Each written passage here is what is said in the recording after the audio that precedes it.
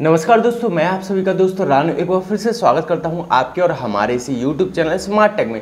दोस्तों, अगर आप मध्य प्रदेश के निवासी हो और मध्य प्रदेश के किसी भी कॉलेज में फ़र्स्ट ईयर में एडमिशन लिया हो, फिर चाहे वो किसी भी सब्जेक्ट से हो तो यहाँ पर आपने स्कॉलरशिप फॉर्म तो भरा ही होगा।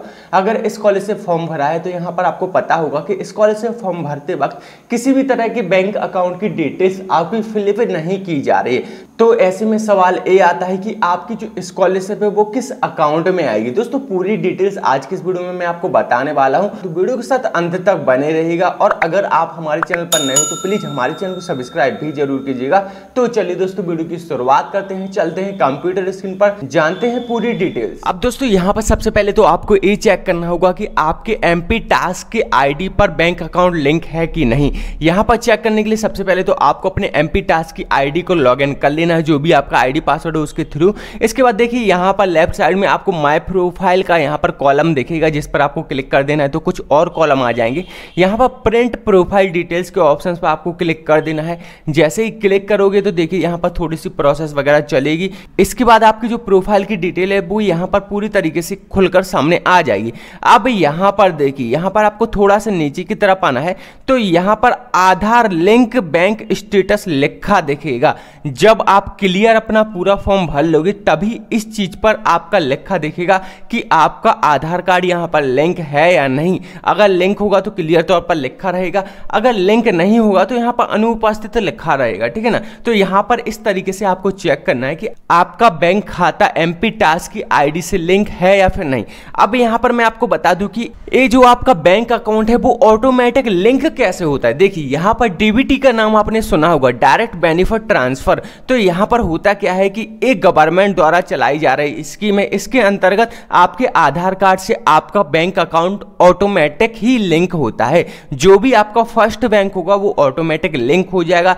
लिंक होने के बाद यहाँ पर आपके लिए जितनी भी आधार कार्ड से रिलेटेड सर्विसेज़ होती हैं, जितना भी आधार कार्ड के थ्रू पैसा आता है आपके बैंक अकाउंट में तो वो डीबीटी के थ्रू जो भी अकाउंट लिंक होता है, उसी खाते में आता है। अब यहाँ पर अगर आपको चेक करना है कि आपके आधार कार्ड में डीबीटी खाता लिंक है या नहीं तो उसे किस तरीके से चेक करें? जिसके लिए आपको यहाँ पर simply U I I dot dot in की मतलब कि आधार कार्ड की ऑफिशियल वेबसाइट पर यहाँ पर आ जाना है ठीक है ना यहाँ पर आओगे तो माय आधार का सेक्शन मिलेगा यहाँ पर आपको आते जाना है तो यहाँ पर देखिए आधार सर्विसेज़ में आपको यहाँ पर नीचे की तरफ़ check Aadhaar bank check Aadhaar oblique bank linking status यहाँ पर लिखा दिखेगा सिंपली यहाँ पर क्लिक कीजिएगा यहाँ पर क्लिक करने के बाद यहाँ पर देखिए कुछ इस तरीके का आपके सामने इंटरफेस आएगा तो यहाँ पर सबसे पहले तो आपको अपना आधार कार्ड नंबर डाल देना है यहाँ पर एक चीज़ का विशेष ध्यान रखिए कि आपका Aadhaar card mobile number number से लिंक होना चाहिए, ठीक है ना? क्योंकि उस मोबाइल नंबर पर आपका एक ओटीपी आएगा तो उस ओटीपी को यहाँ पर आपको डालना होगा। तो देखिए, जैसे मैं आधार नंबर डाल देता हूँ कैप्चर डाल देता हूँ तो यहाँ पर नीचे की तरफ़ एक बटन आ रहा है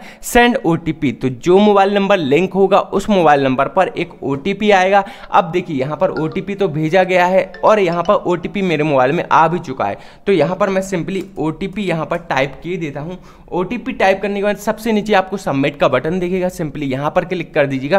तो यहाँ पर देखिए congratulation your Aadhaar bank mapping has been done यहाँ पर यूनियन बैंक मेरा लिंक है, खाता तो यहाँ पर। अब मुझे परेशान होने की ज़रूरत नहीं है। यहाँ पर भी चेक करने की ज़रूरत नहीं है कि यहाँ पर मेरा खाता लिंक है या नहीं। अगर इस तरीके से आपका खाता लिंक बताता है, जो भी आपका, जो भी आपका बैंक होगा, उसका नाम यहाँ पर लिखा आ जाएगा। जो भी खाता लिंक बताता है तो उसी खाते में आपका यहाँ पर स्कॉलरशिप आने वाली है। ठीक है ना? अब यहाँ पर बहुत से लोग इस मेथड के थ्रू अगर चेक करेंगे कि मेरा खाता लिंक है या नहीं, अगर जिन लोगों का लिंक नहीं होगा तो उन्हें डीबीटी के थ्रू यहाँ पर अपना खाता लिंक करवाना होगा।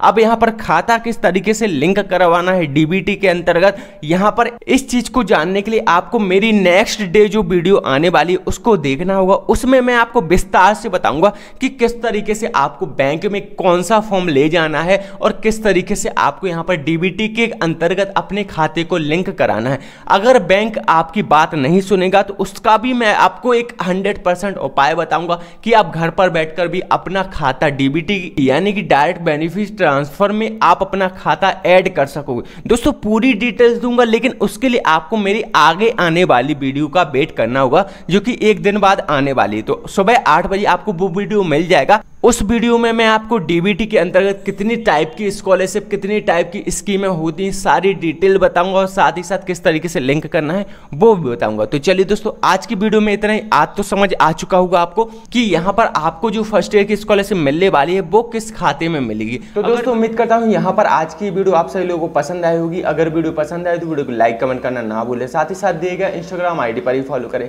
तो चलिए दोस्तों आज की वीडियो में इतना ही। मिलते हैं नेक्स्ट वीडियो में। धन्यवाद।